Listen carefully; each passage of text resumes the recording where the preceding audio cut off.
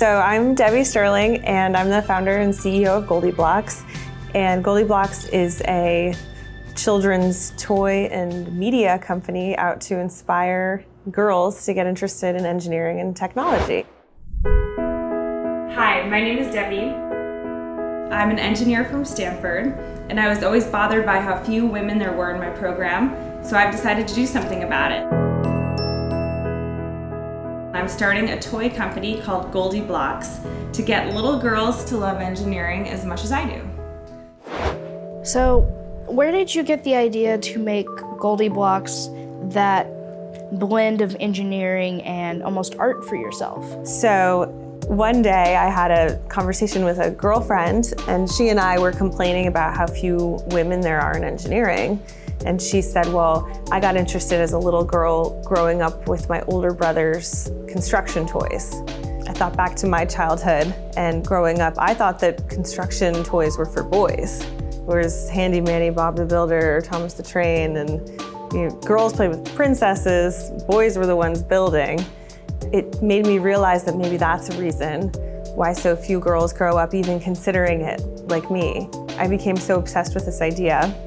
Was all I could think about, all I could talk about, and it got to the point where it took over my life. And I knew it was what I was born to do.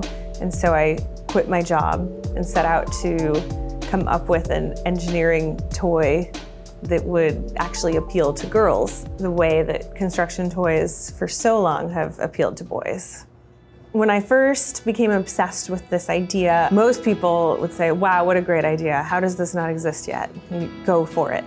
But other people would say, great idea, but did it ever occur to you that maybe there's a reason why you know, boys are inclined toward building and girls are inclined toward dolls. Maybe this is an uphill battle that you won't win. So I picked up every piece of research I possibly could on this issue. Gender differences, cognitive development in children. I talked to neuroscientists. I met with teachers, pediatricians. The first thing I learned is there's absolutely no male advantage to science or engineering or math at all. It's irritating how much people continue to propagate that stereotype because it is not true. What I identified was the lack of role models. Most kids, if you ask them to draw a picture of scientists, they draw a white male. And so we need to dispel that myth and shatter those stereotypes for especially for young girls.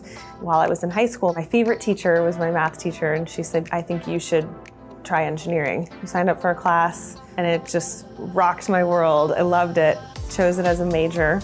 Right out the gate, as soon as I told my mom, for example, who's always been so wonderful and so supportive, she was so surprised.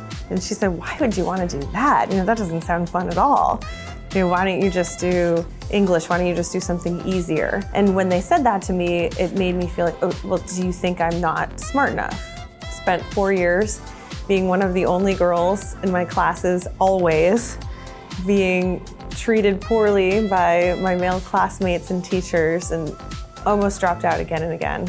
But I stuck with it because I loved the idea that with an engineering degree, it really gives you kind of the skills to make your dreams and your ideas a reality. When I graduated, I was so proud because I had I'd done the hard thing and I had stuck with it and and it made me feel like I was capable of doing anything. I realized that about myself, that I'm a role model, and I don't know if all of you know that you're role models, but you are.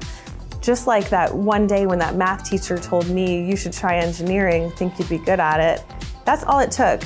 One piece of advice from one woman who I respected put me on a path that changed my life. Years later, I built a really successful company that was entirely based on my unique perspective on engineering. That was laughed at when I was in college, and it was honestly laughed at by the toy industry. And yet, I stuck with my intuition anyway, and it became wildly successful. But you know, one day I dream for this to be global. I dream for this to be as ubiquitous as Barbie because I know the influence that big pop culture iconic brands like that have on generations. And so my dream for this is so big. You know, I feel like we've we've barely scratched the surface.